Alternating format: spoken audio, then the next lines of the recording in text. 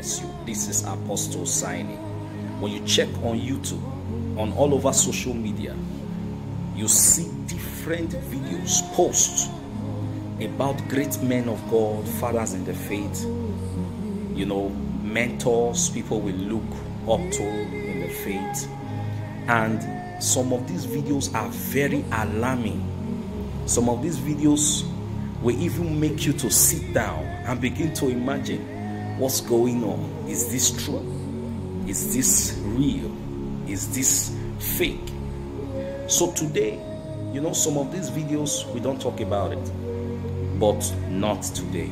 Today, I, have something to say.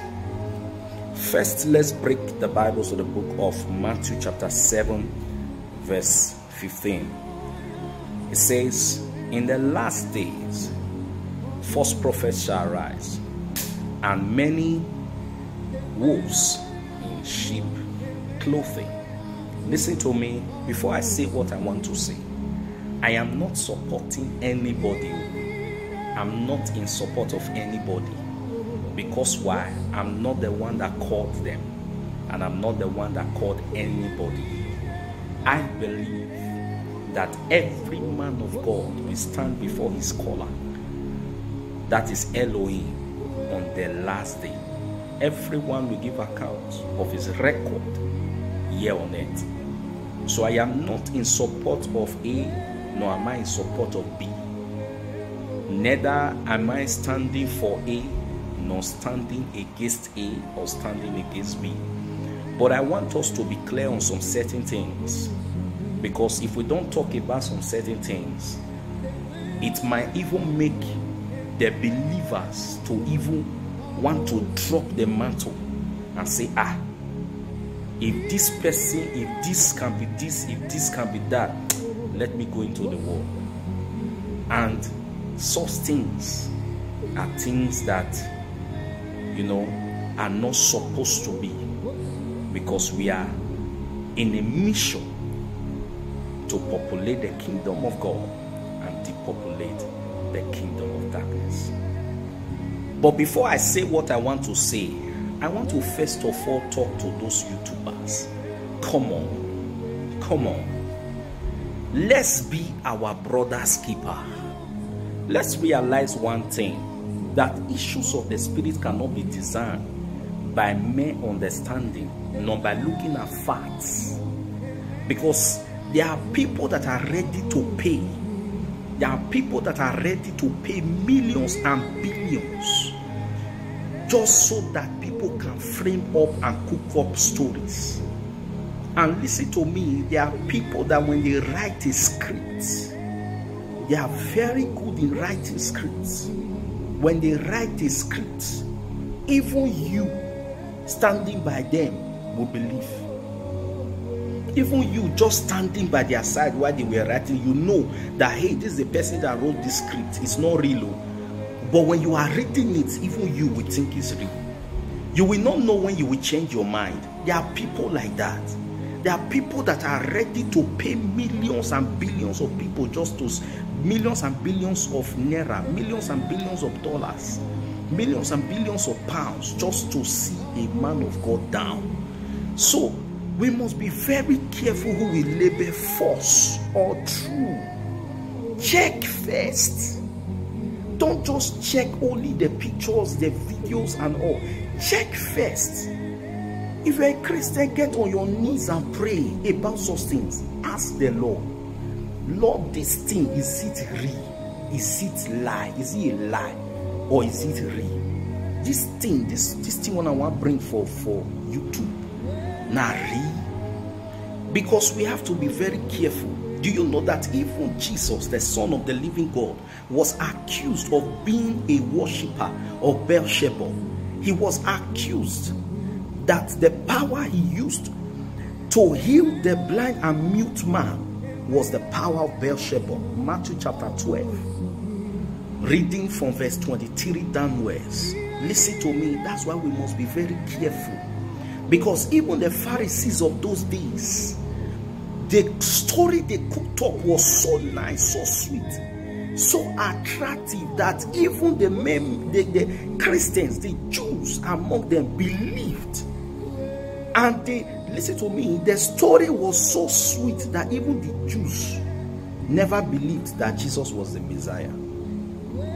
They never believed because of the story. It was so well structured, so well cooked up that even the Jews, many were led astray.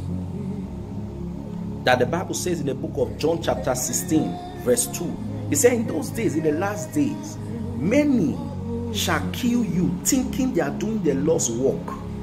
Why? Because in those last days, they will put up stories, things that are beyond imagining, things that when you think about it, they, when you look at the facts, there are no command, no dot, nothing. It's clean and clear.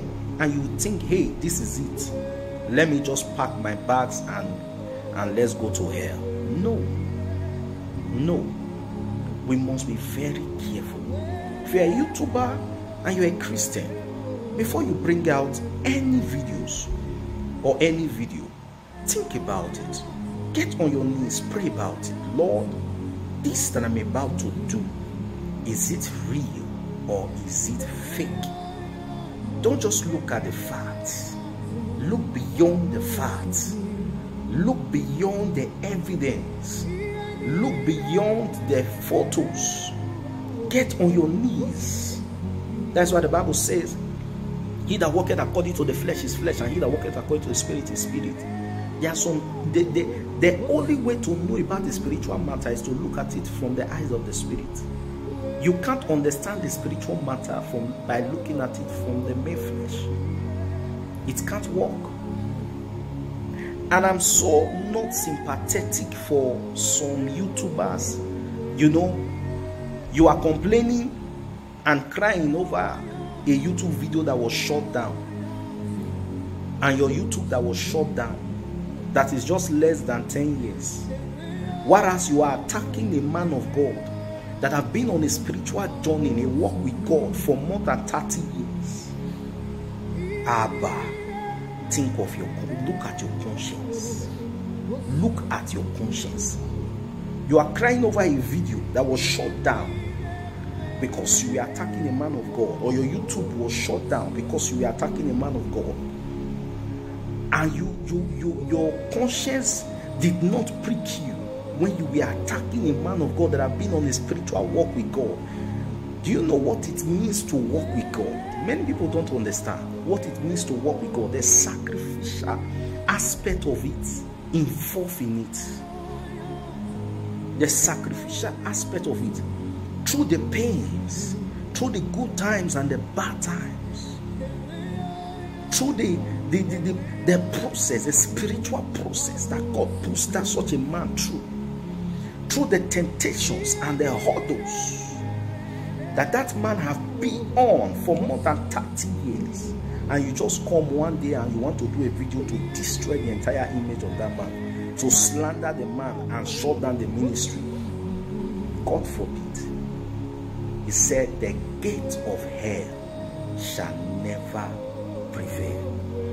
But somebody may ask, some of you may ask, don't I have the right to judge? Don't I have the right to say my mind? Don't I have the right to look at issues and say what I want to say?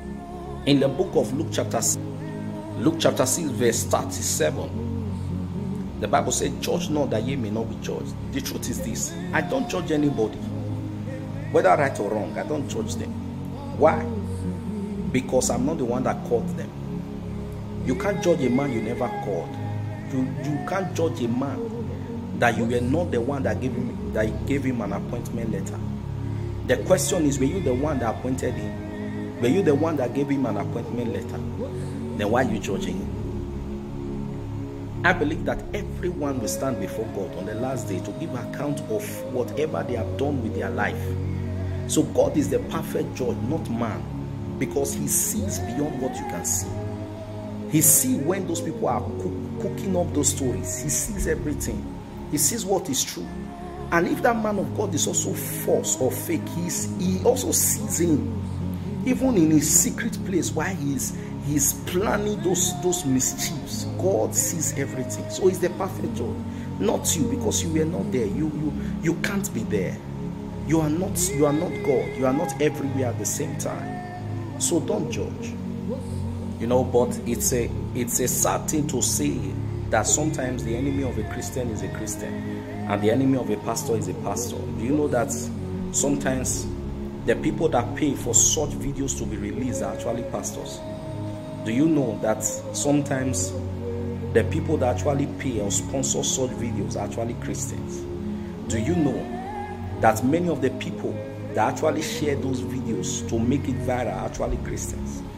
How can you be a Christian and you are slandering a fellow Christian? Can you see a Buddhist? Can you find a Buddhist slandering a Buddhist? It's not possible. Get on YouTube, you can't find one. Get on YouTube, you can't find one. You can't find one. There are so many religions on the earth. Go to YouTube and check if you see any slandering their fellow. It's not there then why is it happening in the body of Christ? We need to check some certain things and address some certain issues. Listen to me. Let's focus on Jesus. Let's make Jesus our focus, not man of God. Focus on Jesus. I believe the issue with Nigeria is we have made men of God like gods that you know we, we, we have lost focus of Jesus let your focus be on jesus when your focus is on jesus you won't even you won't even be be be interested in various rumors. You won't even be interested in rumors. Your mind will be on god. Let your mind be on god. Listen to me. I am neither for nor against. But listen to me. Enough is enough to some certain things. Let's think about it. If that man of god is your brother will you behave like that? If you that is doing that video have you checked yourself if you are even better than the person that you are talking about? The bible says in the book of john chapter 8 verse 7 it says if you are with us if you are with us sin cast the first stone. We need to ask ourselves first. You that is doing the video check yourself. The person that you are talking about are you better off? If they give you such an opportunity will you do better? Will you do better? Check your life. You are criticizing a man of God, and every Friday you are in the nightclub jumping from one woman to the next woman and you get on, on, on sunday or monday you get on your youtube channel and you say John's about somebody that have been working with god for years to destroy his image and you think god will keep quiet and be watching looking at you let's think twice please and please, let's not sponsor her. Let's sponsor the things of God.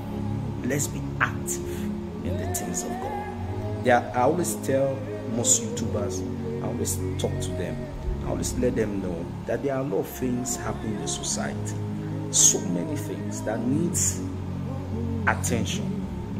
So many things that we can use our platform to address. You know, even ranging from politics even to what is the social menace in the society. You know, so many things happening, you know, that we can use our platform to actually address rather than slandering people and destroying images. Please, let's be our brother's keeper and let's focus on Jesus. Let's let's make Jesus our focus because when we do, we always do the right thing. God bless you. This is Apostle Osaheni. God bless you.